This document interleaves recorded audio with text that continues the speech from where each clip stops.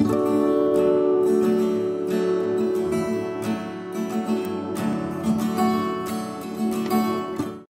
everyone, it's Danni. Welcome back to another layout for the Cocoa Vanilla Studio design team.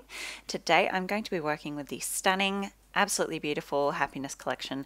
I really love this collection and I'm going to scrap this photo of me and my husband at a wedding.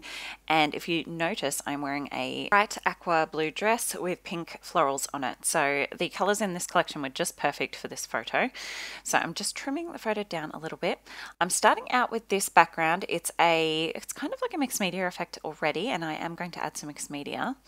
And you'll notice I have some die cuts out to the side there. So I have a dish on my desk full of little white leaves and butterflies basically that I just cut whenever I ever I cut a cut file and I have some spare space on the cardstock I will just add in a couple of leaves or a couple of butterflies and I just have a dish sitting on my desk that I use just to pull from when I need something like that to fill in uh, something on my layout. So I have a bunch of butterflies sitting there. I was actually planning on using the leaves, but I don't use any of those. I do go with the butterflies. So I'm just backing my photo quickly with the 6x8 paper pad and I've just used a, just a plain white paper and then the pink out of the paper pad. So I'm taking those butterflies and I am just going to uh, trace them onto some of the pattern papers from this collection. And I'm mostly using blues and pinks just to go with that, that color scheme of the photo. But um, I, I, could have done this on my die cutting machine. So I have a silhouette cameo. I could have done this when I cut out the butterflies but like I said they were already on my desk and I hadn't planned this layout in advance. So uh, I don't didn't know what size to cut them out. So it was just easier to go ahead and trace them and fussy cut them out with my scissors like I have there so I'm just bending those white butterflies up in the middle so they give lots of lovely dimension and then I'm going to glue those two pieces together just right in the center there. So I can still lift up the wings and you can see the shadow and they're just lovely and dimensional. So I've gone ahead and done that with all those butterflies. I think that was five in total. And now I am just going to add a bit of texture because if you watch my videos, you will know I love lots of texture on my layout. So this is just a, a crepe paper streamer, like a party streamer that I have in my stash. Uh, probably not acid free. It's not something I worry about too much um, for my scrapbooking, but that's just something to keep in mind if uh, that's something you are really careful about. So I've just gone ahead and ruffled that up and trimmed off the excess. It doesn't show up very well on camera. Uh, in person, you can see it a lot better, and it's it's meant to be subtle. So I've just traced out where my photo is going to go because I want to add some mixed media. As I, I do on most of my layouts add some kind of media, even if it's just splatters. But today I'm going to do something fun and I'm using an iridescent uh, gel medium. And that's just the Reeves brand, but I know Liquitex do one as well and I've I put way too much on by accident, but I'm just going to go ahead um, rolling with it. I'm just uh, smoothing it out, trying to get it um, not too uh, lumpy. and uh, I just used a makeup sponge for that. And it gives a really pretty, you can see on the black there, it looks amazing on darker colors. On a light background like this, it's just a very subtle um, iridescent pearl texture.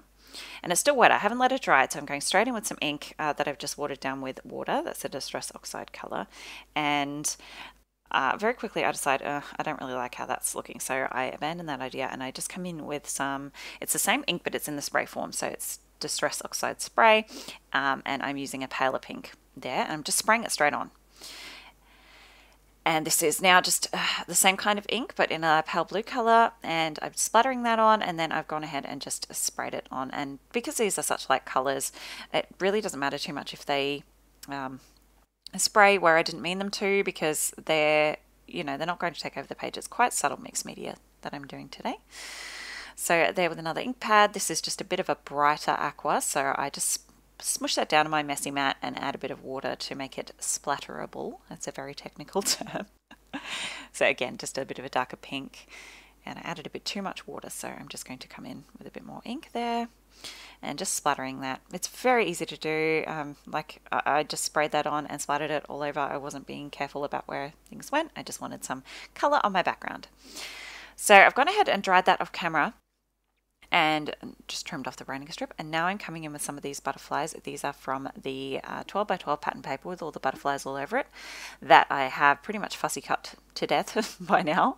So I'm just adding those in where there are gaps between those larger butterflies.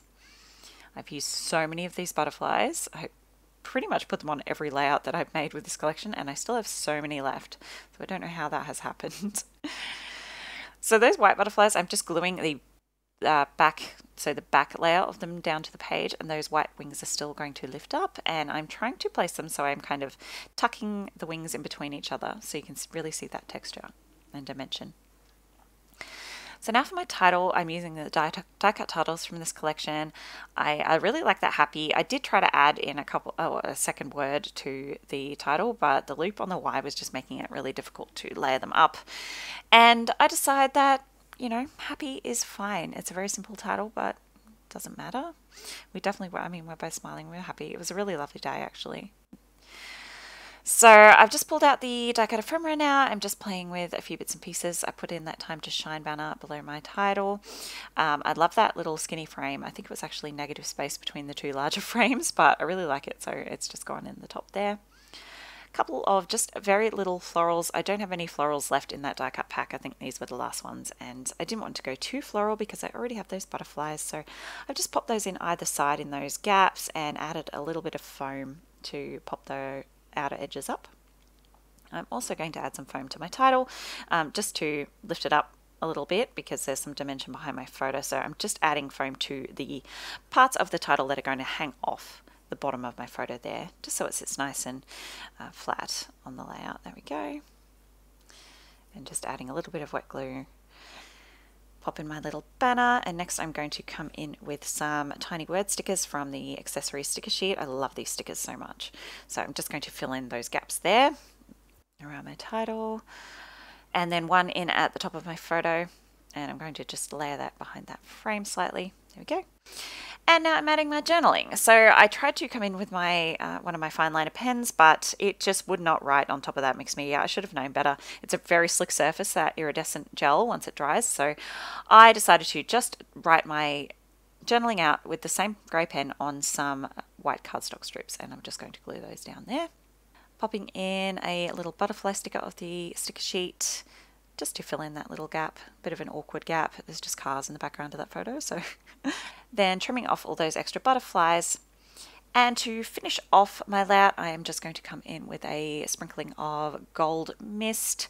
And this is really lovely and shiny metallic, so just for a little extra sparkle.